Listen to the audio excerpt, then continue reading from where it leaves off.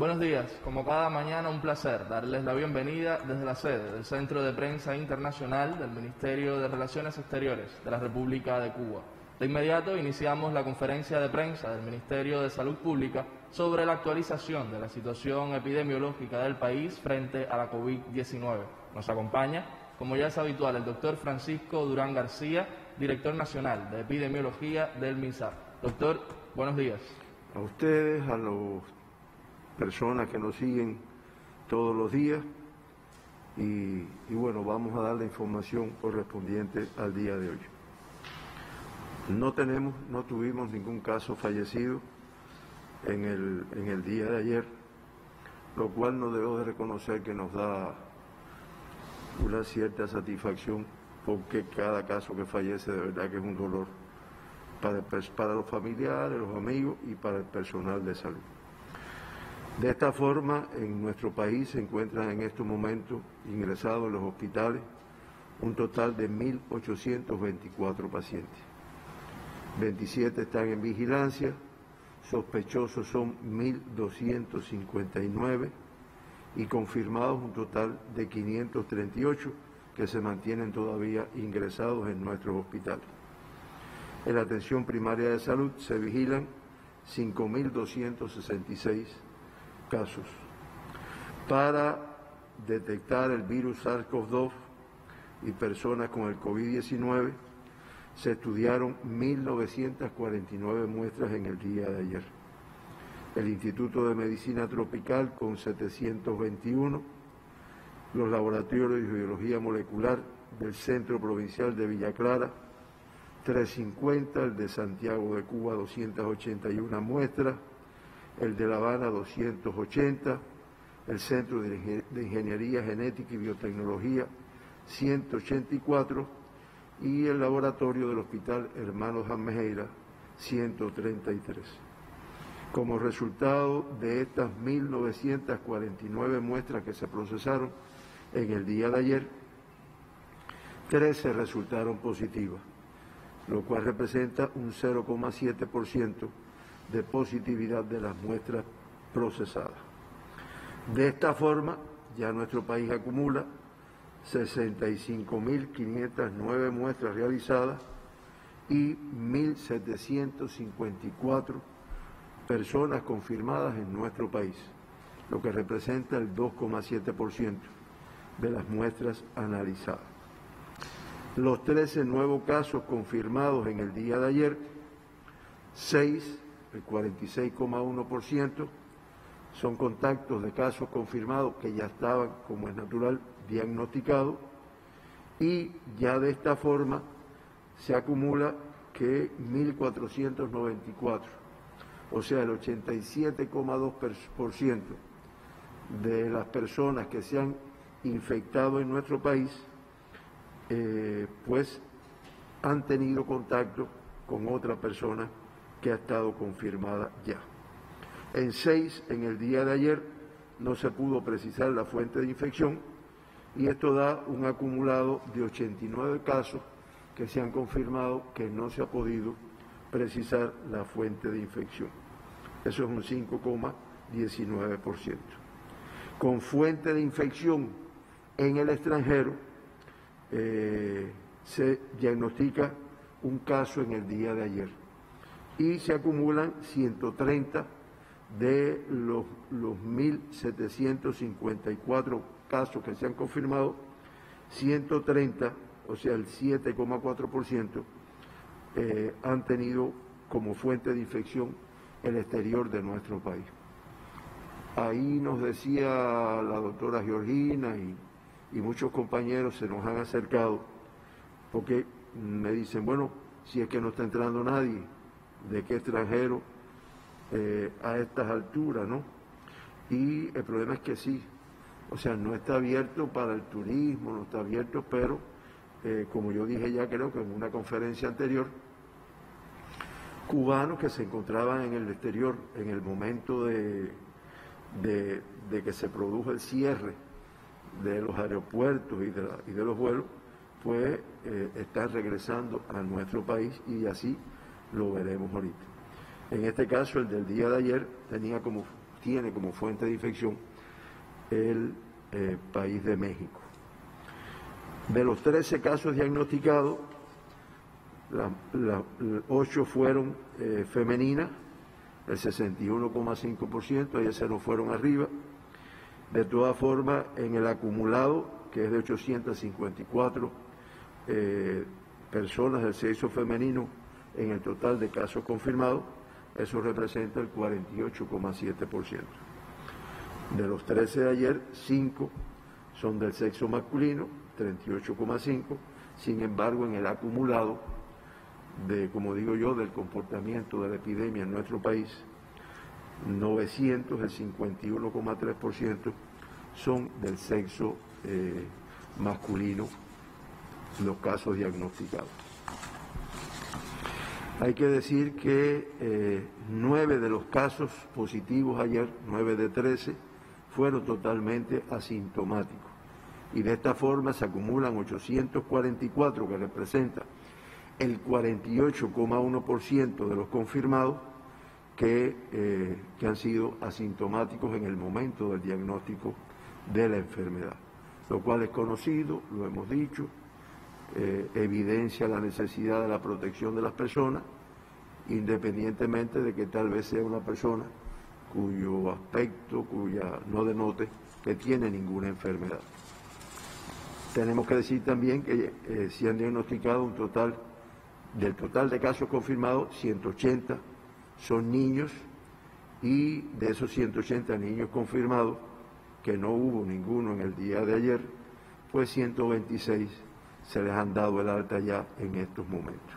Que como también hemos dicho, el niño, la evolución clínica del niño es mucho más, es mejor que la de las personas mayores y mientras más mayores, pues mucho mejor.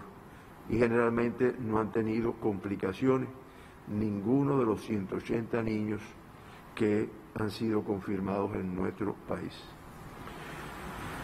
De los 13 casos diagnosticados en el día de ayer, eh, los grupos de edad con mayor número de casos son el de 40 a 60 años, con 7 casos, el 53,8%, y los menores de 40 años con 5, o sea, el 38,4%. Las provincias con mayor número de casos, pues fueron eh, La Habana con 9 casos, el 69,2%, Matanza con dos casos, el 22,2%, y Ciego Dávila y Pilar de Río con uno cada uno. Ahora, en el caso de la persona confirmada en Pinar de Río, es del municipio Pinar. En La Habana se diagnostican nueve casos, dos en San Miguel del Padrón, de Padrón y dos en Boyero. En Habana Vieja, Centro Habana, Arroyo Naranjo, 10 de octubre y Plaza se confirman un caso en cada uno de estos municipios. Los dos casos de la provincia Matanza son del municipio Matanza y el caso confirmado de la provincia de Ciego de Ávila es del municipio Venezuela. Tenemos que reiterar, como hemos dicho todos estos días, que mm, este es el número absoluto, el, comportamiento. Ahora, en el total de casos que hemos tenido desde que comenzó la epidemia, me estoy refiriendo a los 1.750, a los, a los 1.754 casos confirmados, pues por provincia, eh, la tasa de incidencia por 100.000 habitantes se comporta con el municipio especial Isla de la Juventud en primer lugar, con un 50,4%, La Habana le continúa con un 39,1%, Villa Clara 26,9%, Ciego de Ávila 20,6%, Matanzas 18,1%, Santi Espíritu 14,4%, Mayabeque 12,5%, Holguín 9 por 100.000 habitantes, Pinar de Río 8,7, Artemisa 6,2, Cienfuegos 5,9 y Camagüey 5,2. Santiago, Guantánamo, Las Tunas y Granma, al igual que en días anteriores, mantienen una tasa por debajo de 5. Y debemos significar el caso de la provincia de Granma, cuya tasa es de 1,5 como tal. Y ya comentamos en una ocasión anterior que este comportamiento no es a que estudien menos casos, sino que realmente son provincias que han tenido una menos, eh, han estado menos expuestos a algunos factores de riesgo que eh, han propiciado la transmisión en otros lugares, aunque no han estado exentos como eh, se ve aquí. Ahora, de los 1.754 pacientes diagnosticados con la enfermedad, 530 presentan una evolución clínica estable. Esto representa el 98,5% de los casos activos, que, como también he explicado yo ya varias veces, son todos los casos que están ingresados, excepto, como es natural, los que están de alta, excepto los que lamentablemente fallecieron y los dos que tuvimos evacuados de nuestro país, que se pueden considerar de alta en este caso. Ahora, eh, se reportan 74 fallecidos como acumulado y eso da una, una tasa de letalidad de 4,2. Una tasa no, un por ciento de letalidad del 4,2%. Esto, eh, como, como, vamos a ver después al final, cuando lo comparamos con la región de las Américas, Cuba se sitúa en el lugar número 13 eh, en, este orden. Hay 12 países, o sea, la región de las Américas la, letalidad es de 5,93%. Y hay un total de 12 países con letalidad por encima de la tasa de la región de las Américas. Ahí es llamativo México con una tasa de 10, Honduras 6,23, Estados Unidos 6,02, Brasil 6,77, Canadá 6,79 y un grupo de otros países hasta una totalidad de 12 que tienen una tasa por encima, una tasa, una letalidad por encima de 5,93%. Siempre mencionamos los dos extranjeros que se evacuaron al principio de la epidemia y eh, en el día de ayer 62 pacientes fueron dados de alta. Eso mm, hace que se acumule un total de 1.140 personas que han tenido la enfermedad, que han sido dadas de alta y que en estos momentos se encuentran o bien en cuarentena o bien haciendo su actividad normal. Esto representa el 65% de los 1.754 pacientes que se han diagnosticado en nuestro país. Tenemos al día de hoy un crítico menos, son cuatro, y un caso grave más para un total de cuatro también, todos en nuestras unidades de terapia intensiva. En, este caso, mm, eh, los cuatro críticos se encuentran dos en, el, en Villa Clara, en el Hospital Celestino Hernández, y dos en La Habana, uno en el Hospital Doctor Luis Díaz Soto, Hospital Naval, y uno en el Hospital Fran País. De los cuatro graves, dos en el Hospital Celestino Hernández de Villa Clara, uno en La Habana en el Hospital Salvador Allende y uno en la provincia de Holguín, la ciudad de Holguín, en el Hospital Militar Fermín Valdés Domingo. Hay que decir que eh, con una mejoría hay un paciente del hospital eh, Manuel Fajardo de Villa Clara que pasó de crítico al estado de grave. Y mm, con, con, mejoría que hace que salgan del estado de grave al estado de cuidado está una paciente que se encuentra en el Hospital Militar Joaquín Castillo Duani de Santiago de Cuba podemos decir, porque también nos ha reiterado el interés, aunque creo que lo habíamos dicho ayer, pero bueno, ya contando los casos que, están de alta, bueno, pues eh, el mayor número son de eh, la, la, provincia de La Habana, que son 453.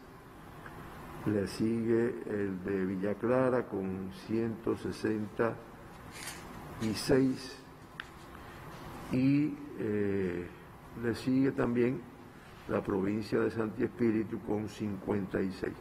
Son las provincias con mayor número de altas acumuladas, aunque todas las provincias han dado altas mm, proporcionalmente al número que se han confirmado con la enfermedad. Nosotros, eh, por último, queríamos informar que un poco que explica lo que yo hablé ahorita de los extranjeros, que en el día de ayer a nuestro país entraron 79 viajeros eh, procedentes de República Dominicana y de Surinam, y de todas formas salieron 45 eh, viajeros emigrados y extranjeros que se encontraban en nuestro país. De esta forma se mantienen en Cuba 10.782 visitantes, de ellos 6.524 emigrados y 4.258 extranjeros. Mm, mm, cifras similares a las del día de ayer, igual que los que se encuentran en casas de arrendamiento, que son 943, fundamentalmente en los municipios de Santiago de Cuba, Plaza, Centro Habana y Playa de la provincia de La Habana.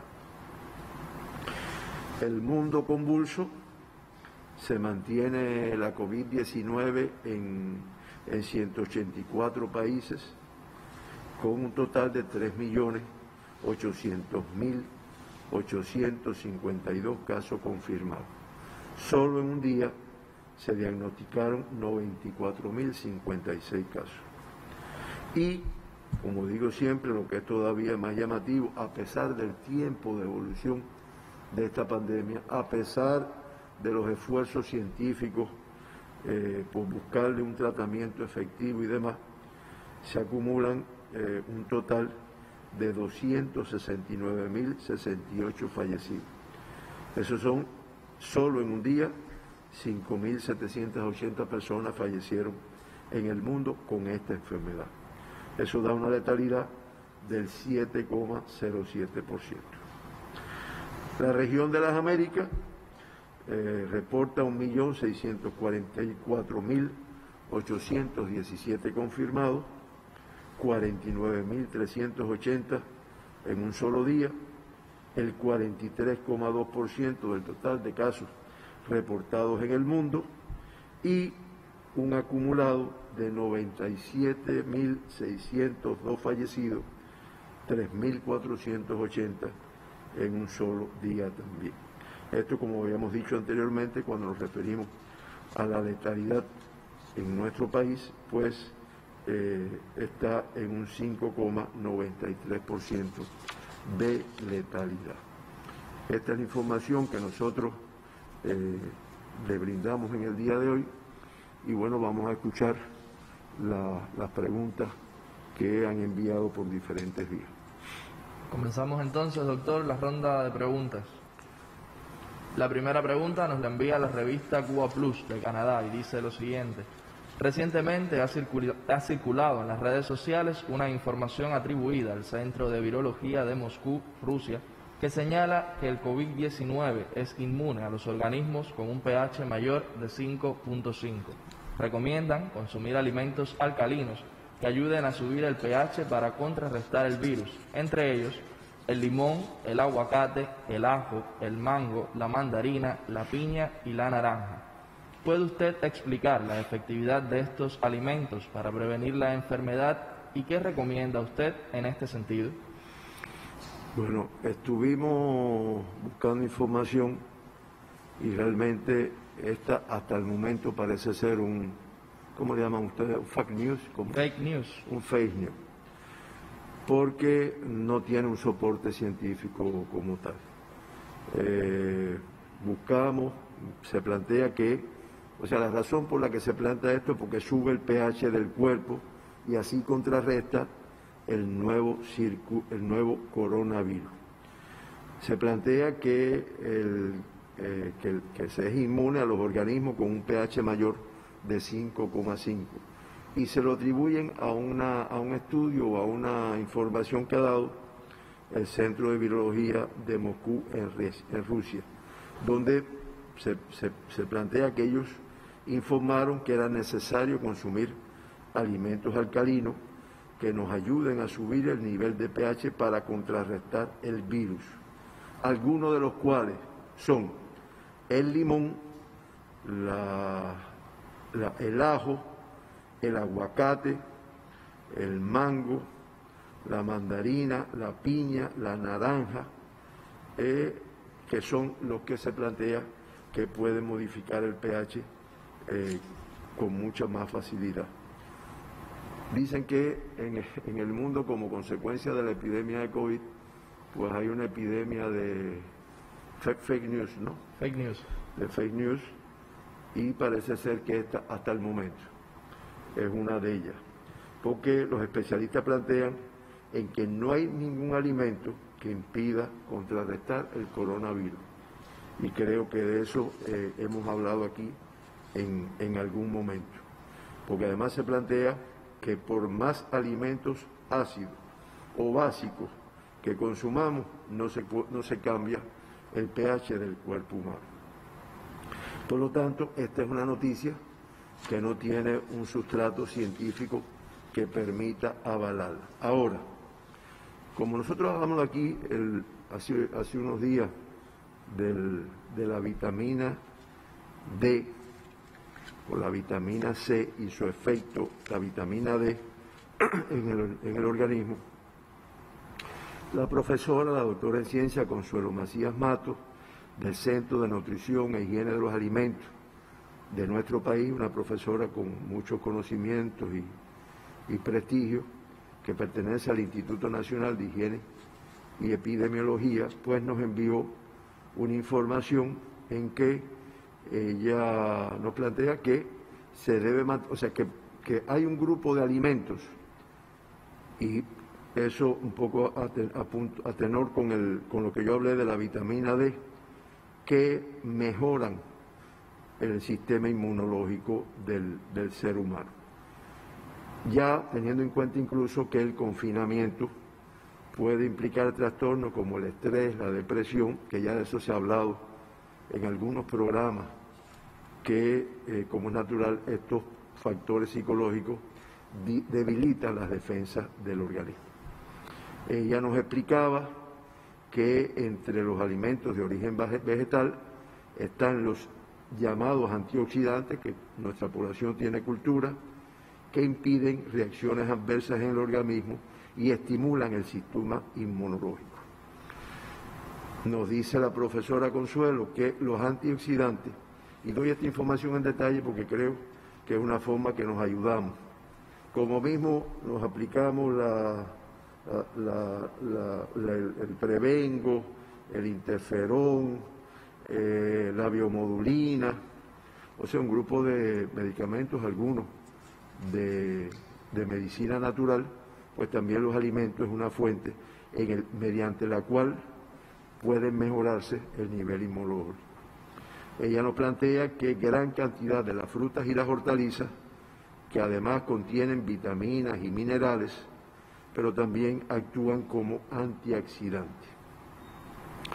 Nos dice Consuelo que el consumo de frutas y vegetales debe ser diario y variado. Le da mucho papel a las hojas verdes, a selga, lechuga, col, espinaca, brócoli, perejil, albahaca, por su elevado contenido y variedad de estos compuestos. Nos dice que eh, una ingestión adecuada de proteínas se pueden comer, sí, porque cuando hablamos de proteína estamos tirándonos para la carne, ¿no?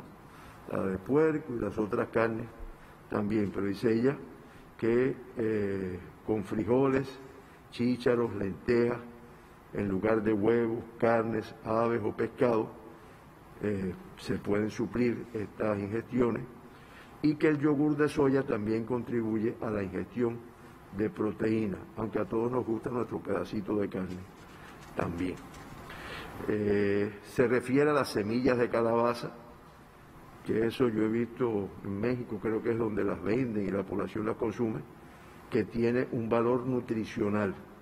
Incluso la compara con el de otras semillas, como es las almendras, el maní. Y resalta lo que aquel día sí nosotros explicamos, que a diferencia de otras vitaminas, la vitamina D se adquiere principalmente con la ayuda de los rayos solares. Me plantea que un poco que con lo que se está viviendo en el mundo y en Cuba en cierta medida, el aislamiento físico resulta importante tomar sol.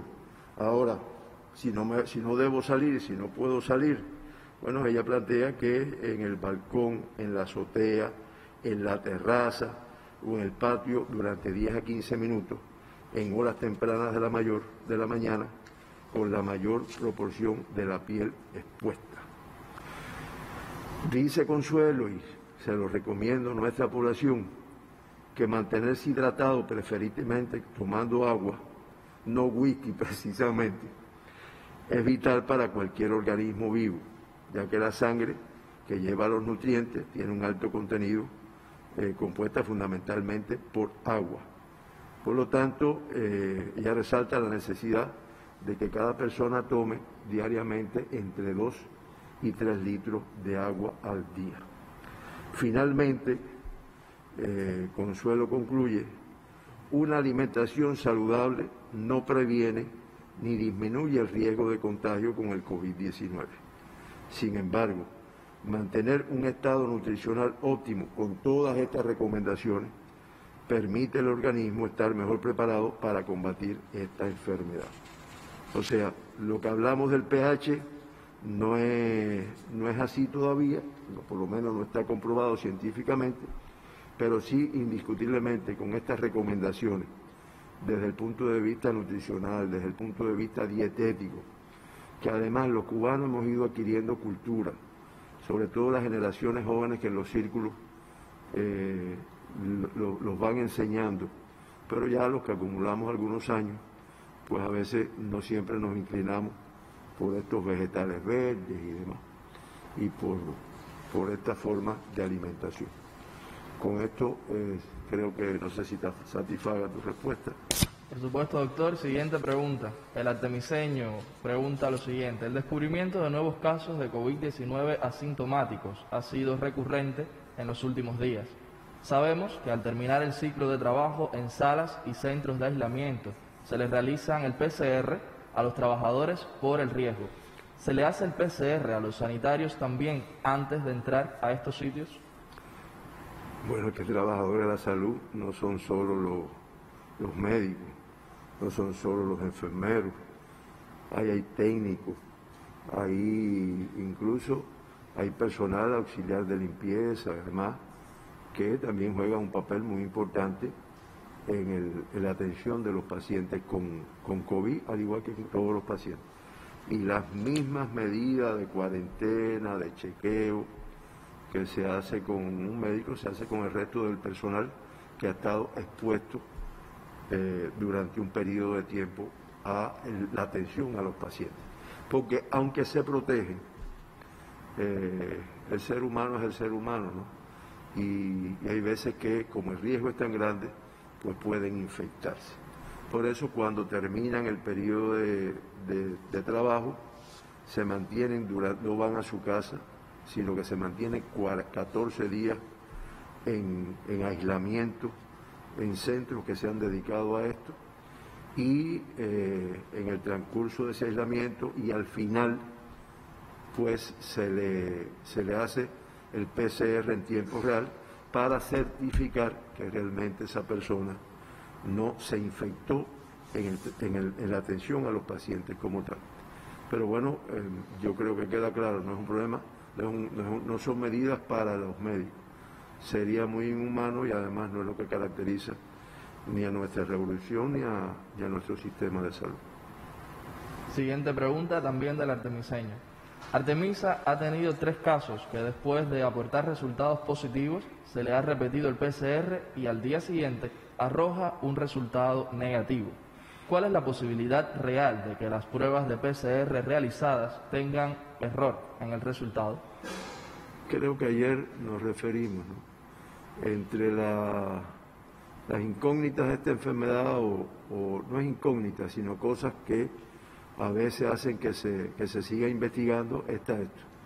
La fluctuación que tiene, eh, incluso los resultados de, un, mm, de una prueba de tanta calidad, de tanta fortaleza como es el PCR en tiempo real. Entonces, esta, esta prueba es verdad que hemos tenido. O sea, decir que no, no, hemos tenido personas que en el momento de darle la alta clínica, eh, después de 14 días en tratamiento, es positivo. O en el momento de la alta epidemiológica, incluso después de estar en su casa, pues resulta positivo. Entonces, eh, lo, que, lo, que se ha, lo que se ha informado es que eh, hay una cierta intermitencia del virus que, eh, que hace que en determinados momentos la carga viral en la muestra que se tome pues sea elevada, sea detectable y entonces la prueba nos da positivo. En otro momento no. Ahora, ¿dónde está la, la cuestión? Bueno, si yo estoy positivo, quiere decir que sigo transmitiendo la enfermedad. En nuestro país, de momento, cuando estás positivo, vas ingresado, hasta que negativice. Eh, aunque estés en la etapa que estés en, un momento determinado.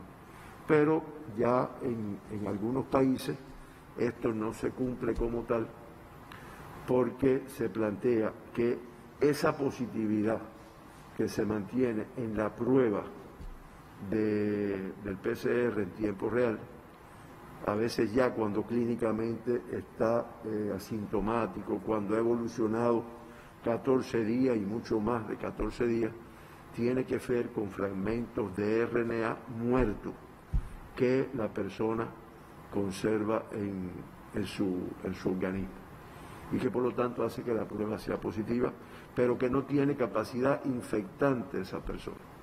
Eso, reitero, no está en estudio, está en, demostración mediante evidencia científica y de todas formas en nuestro país, en el momento que se haga la prueba y dé eh, positivo, pues se ingresa la persona como un caso positivo de la enfermedad. Si ya estaba confirmado, no es un caso nuevo. Pero si es un caso nuevo, es un caso nuevo confirmado como tal.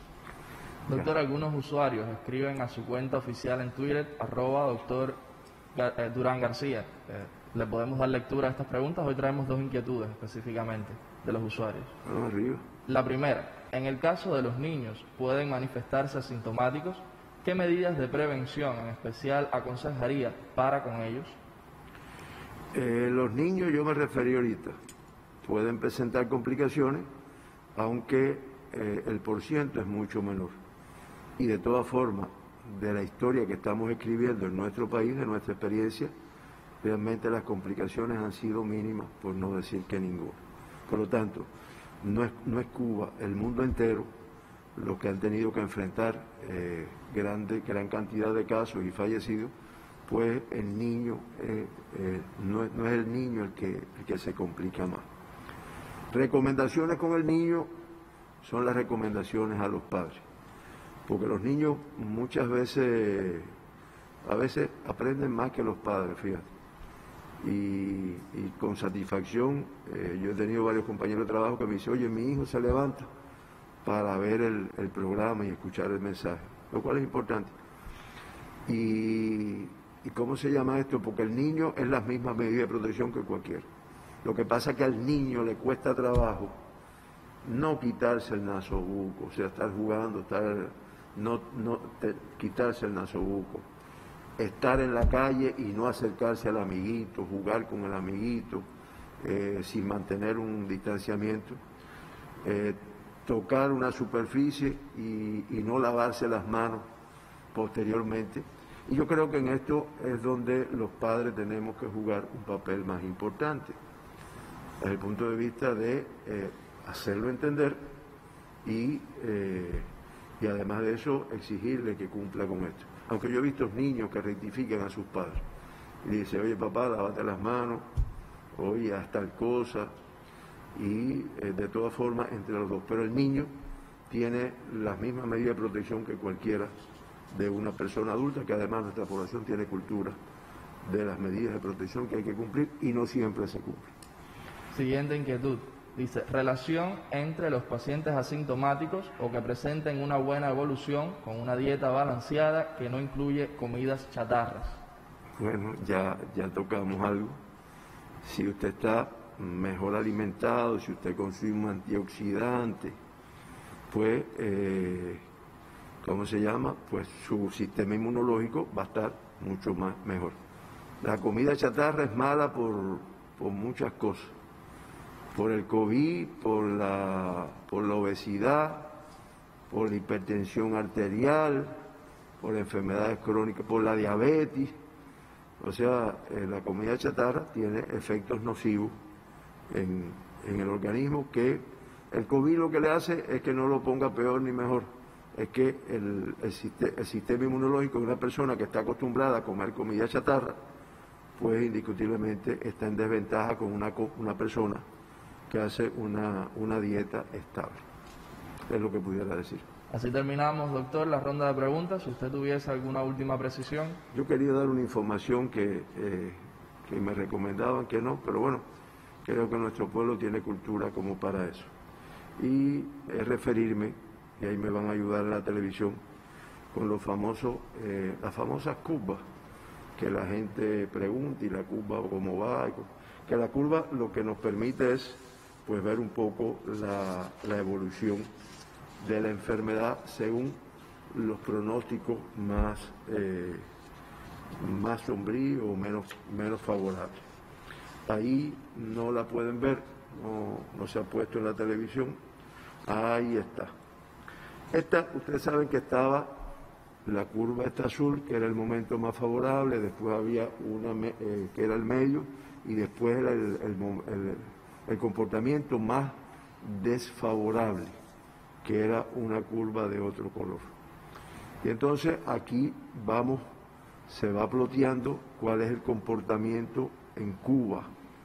¿En relación con qué? Con la curva más favorable. Y ustedes ven que eh, ploteando el número de enfermos hospitalizados por día eh, tiene un comportamiento que va hacia la disminución y queda por debajo de, eh, de esta curva. Yo estoy en la obligación, y ayer me lo reiteraban por la noche, Durán, cuando presentes esto, tú aclara que, eh, que las medidas de restricción son las mismas. Incluso aquí en La Habana, y la población lo ha solicitado, la, se, se, van a arreciar todavía más para eh, poder establecer. Aquí es lo mismo que es la, la, la, o sea, cómo se han ido comportando los casos confirmados y como ustedes ven, se ha mantenido dentro de la curva favorable y no se ha ido ni a la media ni a la roja, que es la más desfavorable.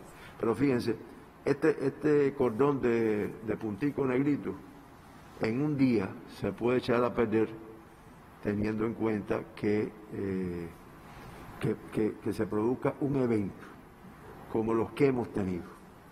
Aquí se han mencionado varios eventos eh, y que esos eventos a veces nos generan un número de casos que no es despreciable. Estamos hablando de 60, de 70 casos a punto de la transmisión en un lugar determinado.